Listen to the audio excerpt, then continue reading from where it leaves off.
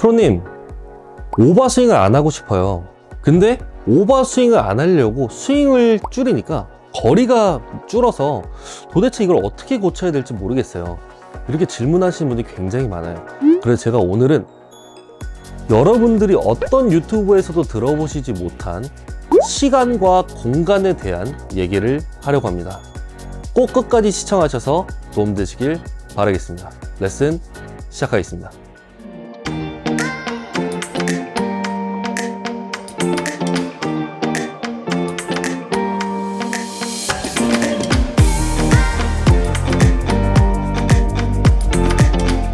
골프는 이 회전 축 방향이 굉장히 중요합니다. 왜냐하면 팔은 업라이트하게 올라가는 선수도 있고요. 플랫하게 낮은 선수도 있습니다. 근데 이 회전 방향이 올바르지 않은 선수는 잘 치는 선수 중에 단 한 명도 없어요. 그렇다면 우리가 이 올바르게 회전을 하기 위해서는 어떤 부분을 신경 써야 될까? 첫 번째, 골프는 힘을 허벅지 안쪽에서 사용한다. 뭐 다른 종목들은 뭐 바깥쪽에서도 사용하는 종목이 있지만 골프는 이 허벅지 안쪽과 발 안쪽에서 회전이 이루어져야만 우리가 sway도 안 하고 reverse pivot도 안 하고 결국에는 바깥쪽에 힘을 사용하기 때문에 밀리거나 빠지게 된다고 이해하시면 좋을 것 같고요. 백스윙 올리실 때 허벅지 안쪽에서 안쪽으로 힘을 써주셔야만 우리가 축이동 되는 것을 최대한 방지할 수 있다. 그래서 제가 오늘 가져온 주제는 공간과 시간이라고 말씀드렸는데요. 첫 번째로 오버스윙이 많이 되시는 분들은 잘 들어보세요. 우리가 어드레스를 합니다. 백스윙 올릴 때 우리가 몸이 이동하는 이런 공간에 대한 얘기입니다. 시간은 반대로 공간에 의하여 팔이 올라오는 시간이에요. 그게 무슨 말이냐? 골프는 회전도 돼야 하고 수직으로 꺾어서 코킹과 힌지도 돼야 하는데 공간은 회전에 대한 얘기고 시간은 우리가 헤드가 꺾여서 올라오는 시간을 말합니다. 그래서 제가 서두가 좀 길었는데 오버스윙 하시는 분들은 공간 이제 회전의 방향을 옆쪽으로 많이 쓰기 때문에 몸의 축이 스웨이 우측으로 밀리면서 팔도 밀리게 되면은 너무 많이 우측으로 시간과 공간이 밀려버리게 돼요. 그러다 보니까 공간에 대한 몸의 이동이 많다 보면 팔은 자연스럽게 더 미는 게 아니고 땡기게 됩니다. 그래서 오버스윙 하시는 분들 스윙 보면은 처음에 우측으로 가다가 마지막에 땡겨서 들어오는 스윙이 굉장히 많은데요. 반동이라고 하죠. 특히 여성분들 중에 이렇게 반동으로 오버스윙을 하시면서 힘을 쓰는 분들이 굉장히 많은데 우리가 이거를 고치려고 스윙을 줄인다? 이러면은 여러분들이 가지고 계신 힘의 60% 70%밖에 쓰시질 못할 거예요. 그래서 오버스윙을 줄이려면 우리는 최대한 축 이동이 우측으로 밀리지 않게 공간을 많이 주지 않고 공간을 적게 준 상태여야만 손이 뻗어질 수 있는 이런 시간을 만듭니다. 근데 만약에 공간을 우측으로 넓게 써버리면 손도 뻗어질 수 없기 때문에 손은 반대로 당기려고 하는 힘의 방향 자체가 나눠진다는 거죠. 또 반대로 얘기하면 reverse pivot, 옆 피봇이라고 해서 체중이 왼쪽으로 이렇게 남는 분들도 많아요. 이런 분들은 오히려 공간을 우측으로 우리가 회전 방향이 올바르게 이용하지 못하고 왼쪽으로 빠지기 때문에 백스윙이 넘어갈 수가 없어요. 왜냐면 공간이 왼쪽에 쏟아져 있기 때문에 손은 왼쪽으로 넘어지기 때문에 시간을 굉장히 뻗으려고 한다는 거죠. 좀 이해하셨나요? 그래서 우리가 올바르게 골프 스윙을 회전을 하려면 첫 번째 sway 하시는 분들은 내가 축이동이 가면 갈수록 팔은 당겨지는 힘을 쓰기 때문에 다운스윙에서도 굉장히 좁아지면서 슬라이스나 찍혀 맞는 샷을 유발할 수 있다. 그리고 reverse pivot으로 왼쪽으로 남으신 분들에게는 공간이 굉장히 좁아지면서 팔이 오버스윙은 안 되지만 이 공간 자체가 좁아지면서 또 반대로 훅볼이나 힘을 쓸 때 이렇게 쓰는 거죠. 일로 갔기 때문에 반대로 힘을 쓰기 때문에 훅볼이나 뒷땅 혹은 뭐 다른 문제들로 고생하실 수 있습니다. 구독과 좋아요 눌러주세요. 네, 그래서 제가 몸의 공간을 우측으로 넓게 쓰면 팔은 당겨지는 우리가 힘의 방향을 쓴다고 말씀드렸고 또 몸의 공간을 왼쪽으로 좁게 쓰면 팔은 뻗으려고 하는 힘의 방향을 쓴다고 말씀드렸죠. 그러면 올바른 힘의 방향을 쓰는 방법은 첫 번째 여러분들이 연습장이 아니시더라도 집에서 체크해 보실 수 있는 방법이 우리가 어드레스를 한 상태 채 없어도 됩니다. 거울을 보시면서 축을 쭉 있다고 생각하시고 힘은 이 허벅지 바깥쪽과 안쪽을 기준점으로 잡으십니다. 바깥쪽으로 밀리게 되면 이제 sway라고 생각하시면 되고요. 그리고 왼쪽으로 치우치게 되면 reverse pivot.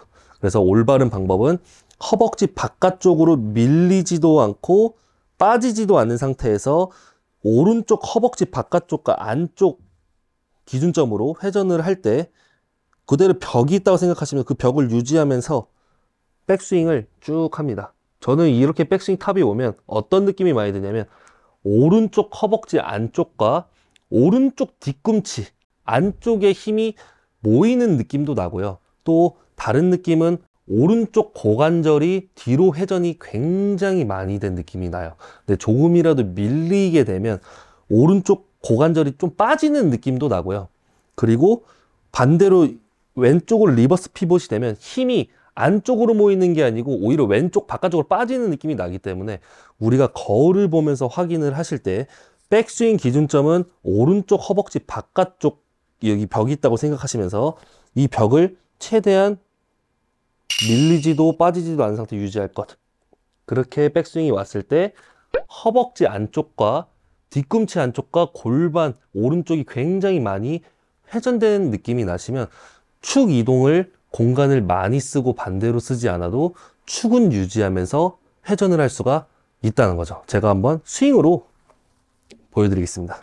네, 공 치면서 한번 보여드릴게요.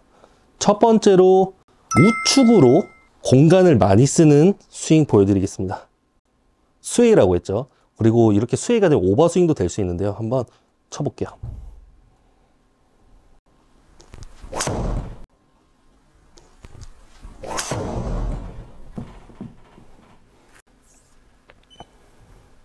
영상 보면서 설명드리겠습니다. 첫 번째는 우리가 거울 보면서 오른쪽 바깥쪽에 기준점을 두고 이제 스윙 연습을 하라고 말씀드렸는데 연습장에 오셔서도 이렇게 비교할 수 있으면 좀 그거 보고 체크해 보셨으면 좋겠어요. 우리가 처음에 공간을 우측으로 바깥쪽보다 밀려서 쓰게 되면 팔을 뻗으면은 내가 우측으로 무너지는 느낌이 나기 때문에 팔은 결국에는 이렇게 당깁니다.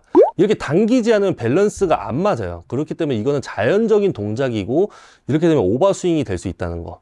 그러면 우리가 다시 칠 때도 공간이랑 시간을 반대로 썼기 때문에 잘 맞을 수가 없습니다. 뭐 한 방, 두 방은 잘 맞을 수 있지만 골프는 확률 게임이기 때문에 절대적으로 리스크를 줄일 수 없다는 거. 이번에 또 반대로 reverse도 한번 보여드릴게요.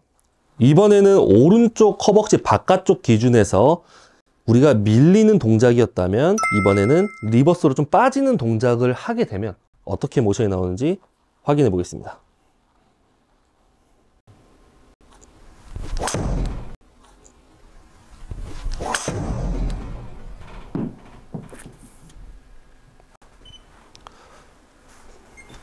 네, 비교 동작 보겠습니다. 똑같이 오른쪽에 벽을 두고요.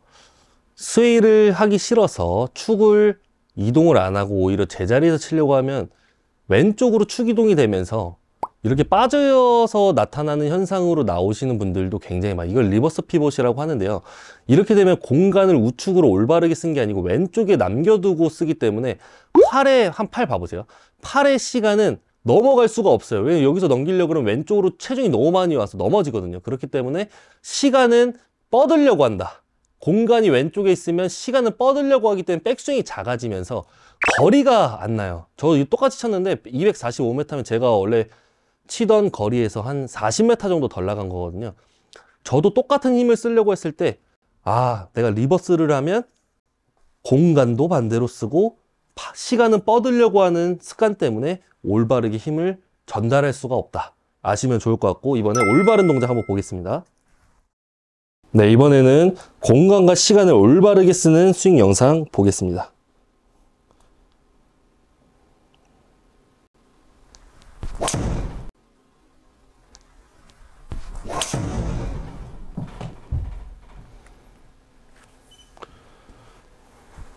네, 똑같이 우측에 벽을 둔 상태에서 백스윙 올라갈 때 최대한 이 벽이 밀리지 않은 상태. 그러면 공간도 우리가 이 빨간 선 기준점에 의해서 붙어 있으면은 아, 내가 피봇, 회전 방향이 밀리지도 당기지도 않는 공간을 썼구나 생각하시면 되고요. 그렇게 공간을 썼을 때 팔 봐보세요. 팔이 오버스윙처럼 당겨지지도 않고 올바르게 굉장히 좀 보기 좋은 위치로 시간이 간다는 거죠. 이 공간에 의하여 팔의 시간은 결정된다라고 생각하시면 됩니다. 그렇게 때리셔야만 우리가 힘의 방향을 올바르게 쓸 수 있고 스윙 모션도 좋아진다는 거 꼭 기억하셨으면 좋겠습니다. 골프하세요. 네, 그래서 오늘 공간과 시간에 대한 사실 생소한 레슨일 수 있지만 여러분들께 소개시켜 드렸는데요. 우리가 이 허벅지 오른쪽 바깥쪽 기준으로 이 공간을 어떻게 쓰는지 골프는 항상 허벅지 안쪽에서 회전이 이루어져야 한다. 이 기준점 두시면서 이 공간에 의하여 밀리면 당겨지고 빠지면 뻗어지면서 거리가 안 날 수 있다는 거 꼭 올바르게 이해하고 고치시면서 올바른 골프 치시길 바라겠습니다. 세오프로는 다음 주에도 더 좋은 레슨으로 찾아뵙겠습니다. 그럼 골프하세요!